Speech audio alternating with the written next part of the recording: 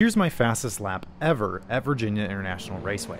I set this lap in my 2006 Evo 9 MR, making 420 wheel horsepower with stock aero and old 200 treadwear tires. I installed a new turbo before this event and it was a complete rocket on the straights. I hit 136 miles per hour on the bridge straight before the uphill S's and carried so much speed into the fast left-hander of turn 10, I almost overshot it. Turn 12 is one of the slowest corners on the track and immediately precedes the almost mile long back straight where the Evo hit an eye-watering 154 miles per hour before hauling down to just 44 miles per hour for roller coaster. At this point, I can tell it's going to be a fast lap, but coming out of the final corner onto the front straight, I get on the power and the back of the car starts to step out.